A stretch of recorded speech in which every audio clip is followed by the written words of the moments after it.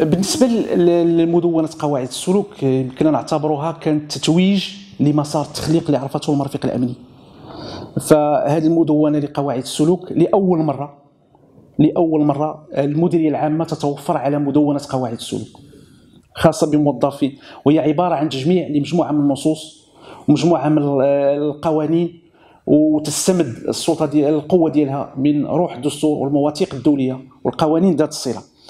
هذه آه المدونة هذه آه ما جاتش آه من فراغ.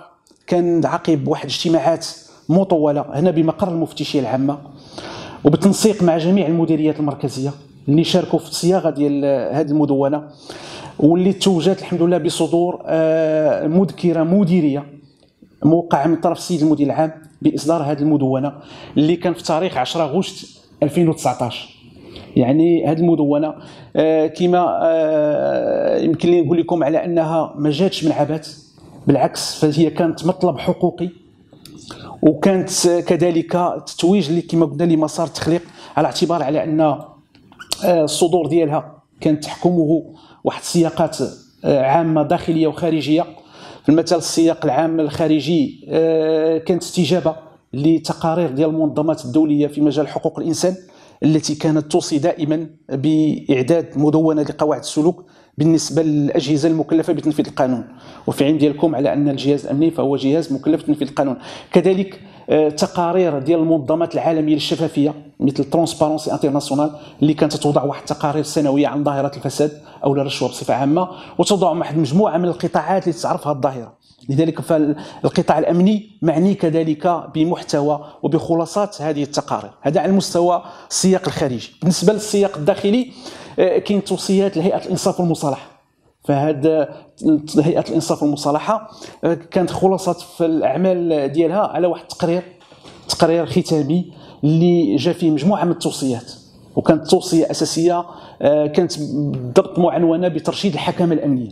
فهذه الحكامه الأمنية كانت مجموعة من المتطلبات والمقتضيات من بينها الأساسي إصدار مدونات ديال قواعد السلوك بإنفاذ القانون.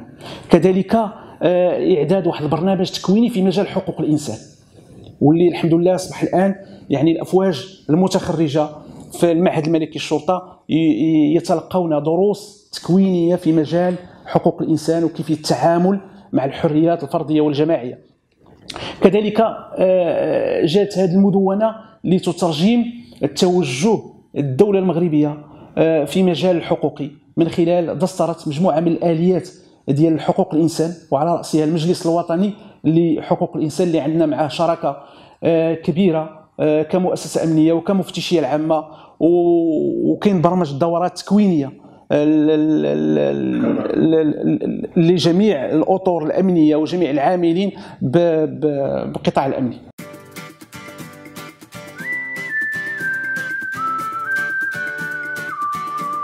المدونة آه، هي وثيقة ديال المعايير مجموعة من المعايير الأخلاقية والمثالية التي المفروض أن يتحلى بها رجل الشرطه أثناء المزاولة ديال العمل ديالو. يعني بمثابة هي الرقيب آه، وهي الضمير الحي المصاحب لرجل الشرطة. آه، المدونة فيها مجموعة من المقتضيات اللي تتنظم علاقة الشرطي بمحيطه المهني بعلاقة مع الزملاء ديالو في العمل بالرؤساء بتطبيق التعليمات علاقة بالجمهور أو لا اللي فيها بالمواطنين أو المرتفقين والمرتفقين هنا على فئات يقدر يكونوا ضحايا ديال الجرائم يقدر يكونوا آه، آه، شهود أو لا أو لا حتى مرتكبي الجرائم. حتى مرتكب الجرائم يعني تتنظم العلاقة ديال رجل الأمن مع مرتكب دائما من خلال استحضار قرينة البراءة والبحث بكل موضوعية وبكل جدية سبيل يعني الوصول إلى الحقيقة. كذلك تتعالجنا حتى العلاقة ديال موظف الشرطة في في مع الزملاء ديالو مع الرؤساء ديال العمل. يعني تتكون هي مجموعة من المعايير المثالية اللي خص يستحضرها رجل الأمن. في, في أثناء الممارسة العمل ديالو. اللي بغيت نأكد عليه على أن المذكرة الصادرة عن السيد المدير العام بمناسبة إصدار هذه المدونة آه، جاءت بمسألة جديدة. أو كرست مسألة جديدة وهي آه، واحد آه، المادة أساسية اللي ولات تدرس الآن بالمعهد الملكي للشرطه بالنسبة لجميع الأفواج والتخصصات كيفما كانت الرتبة ديالهم وهي مادة أخلاقيات المهنة الشرطية. هذه المدونة القيمة الإضافية ديالها هي أنها تخاطب جميع موظفي الأمن بغض النظر عن صفتهم ورتبتهم ووضعيتهم الإدارية. يعني توظف موظف ديال الشرطة. ما وبالتالي ما يمشيش الاتجاه على أنها فقط موجهة للموظفين الصغار أو للرتباء وإنما هي لجميع موظفي الأمن فمفروضة مطبقة على جميع الموظفين. فبالأحرى الرؤساء اللي خصو يكونوا قدوة ومثال لباقي العناصر.